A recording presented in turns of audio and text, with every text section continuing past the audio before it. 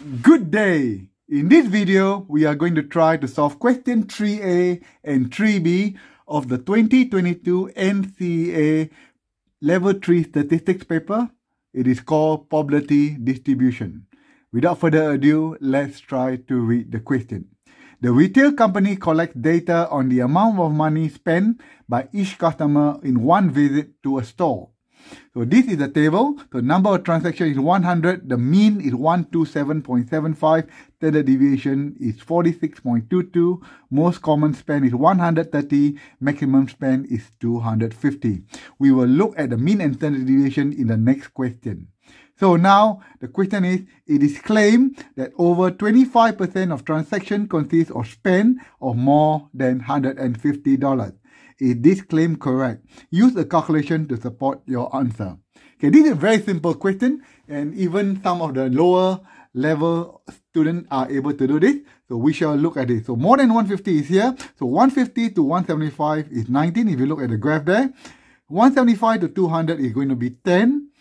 So 200 to 225 is 3 and 225 to 250 is 1. So if you add up all these numbers, because they are all more than 150. So 19 plus 10 plus 3 plus 1 is going to be 33 transaction that is more than 150. Because the total is 100, so the percentage is 33 out of 100 is going to be 33%. So is the claim more than 25%? Of course it is because the claim is 33%, which is definitely more than 35, 25%. And if I'm not wrong, that question is going to be an, uh, let me check, it's going to be an achieved question. Okay, so you can answer that question, that will be an achieve. Great. Now we shall look at the second part, or in fact it is question 3b.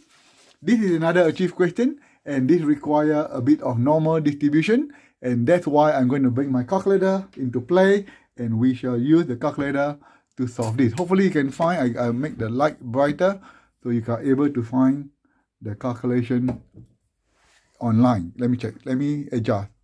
Okay, good. Now, because in the example previously, okay, you're going to draw the example again. This example, okay, the mean and standard deviation is given. The mean is going to be 127.75 and standard deviation is 46.22. So we're going to transfer that so the mean is mu, 127.75, and the sigma is the standard deviation is 46.22, and we are going to do the question based on what is given there. Use a normal distribution model to estimate the probability that a randomly chosen customer spend more than 150. So the mean is 12775, 150 is to the right of it. So more than 150, we are looking at this area, and we are going to calculate the area under the curve or the probability. Okay. So probability, it is more than 150.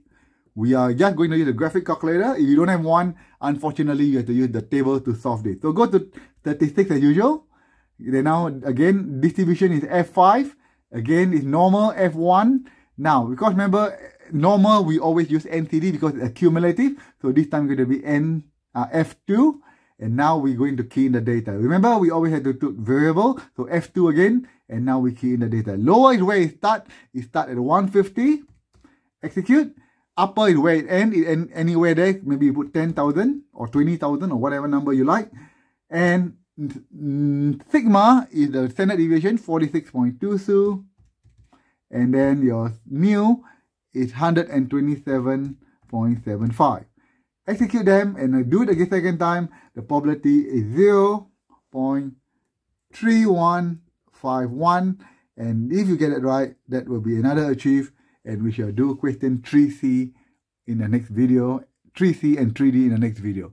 Have a good day, everyone, and I'll see you soon.